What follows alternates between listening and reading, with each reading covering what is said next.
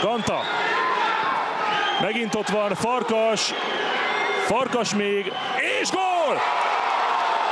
Hát ez igazi torgellés gól, 2-1 az MTK-nak. Jött egy lövés Farkas 2 Balástól, megpattant talán még egy felcsútin is, egy budapesti meg egészen biztos Torgellén. A felirat azt mondja, hogy Farkasi a gól, de az azért meglepő Itt az első, ez kapufa, Vas Patriktól. Jön a következő beadás, íme Farkas Balázsnál. Hát ez Torgelle gólja kell, hogy legyen. Amennyiben a Torgelle helyén egy puskás játékos állt volna és róla pattan be, akkor ez öngól.